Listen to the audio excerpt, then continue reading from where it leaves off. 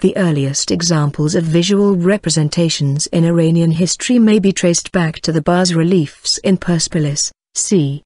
500 BC. Persepolis was the ritual center of the ancient kingdom of Achaemenids and the figures at Persepolis remain bound by the rules of grammar and syntax of visual language. During the Sasanian reign, Iranian visual arts reached a pinnacle. A bas-relief from this period in Taqi Bostan depicts a complex hunting scene. Similar works from the period have been found to articulate movements and actions in a highly sophisticated manner. It is even possible to see a progenitor of the cinema close-up in one of these works of art which shows a wounded wild pig escaping from the hunting ground. In the early 20th century, five-year-old industry of cinema came to Iran. The first Iranian filmmaker was Mirza Ebrahim Khan, Akkas Bashi, the official photographer of Mozaffar al-Din Shah of Qajar. He obtained a camera and filmed the Shah's visit to Europe, upon the Shah's orders. In 1904, Mirza Ebrahim Khan, Sahhaf Bashi, opened the first movie theater in Tehran. After him, several others like Russi Khan, Ardeshir Khan, and Ali Vakili tried to establish new movie theaters in Tehran. Until the early 1930s, there were little more than 15 theaters in Tehran and 11 in other provinces. The first silent Iranian film was made by Professor Ovanes Ohanian in 1930, and the first sounded one, Lor Girl, was made by Abd ol Hossein Sepanta in 1932. The 1960s was a significant decade for Iranian cinema with 25 commercial films produced annually on average throughout the early 60s, increasing to 65 by the end of the decade. The majority or production focused on melodrama and thrillers, with the screening of the films Qeysar and the Cow, directed by Masoud Kimiai and Dariush Mehrjui respectively in 1969. Alternative films established their status in the film industry. Attempts to organize a film festival that had begun in 1954 within the framework of the Golrizan Festival, bore fruits in the form of the Sepas Festival in 1969.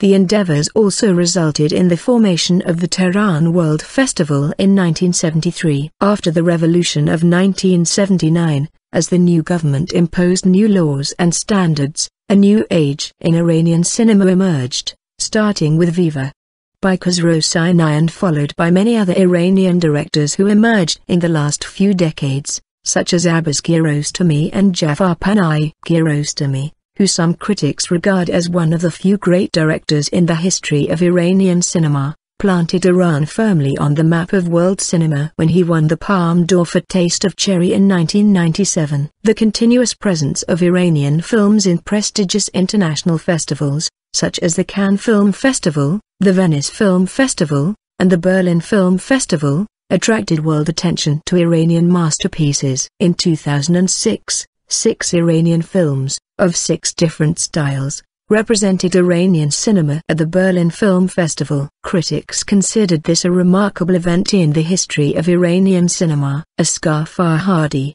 a well-known Iranian director, has received a Golden Globe Award and an Academy Award for Best Foreign Language Film, and was named as one of the 100 most influential people in the world by Time magazine in 2012. Other well-known Iranian directors include Mohsen Makhmalbaf, Majid Majidi, Bahram Beyzai, Bahman Ghobadi, Rakhshan Banietemad, Amin Adri, Ali Hatami and Reza Mirkarimi. Marjane Satrapi, Shohreh Aghdashloo, Nazanin Boniadi, Shirin Neshat, Amir Mokri, Bahar Soomekh, Amir Talai, Nasim Pedrad, Dariush Shokof, and Rosie Malek Yonan are among cinema people in the Iranian diaspora. The oldest records of animation in Iran date back to the late half of 3rd millennium BC. An earthen goblet discovered at the site of the 5,200-year-old burnt city in southeastern Iran depicts what could possibly be the world's oldest example of animation. The artifact bears five sequential images depicting a Persian desert ibex jumping up to eat the leaves of a tree. The art of animation,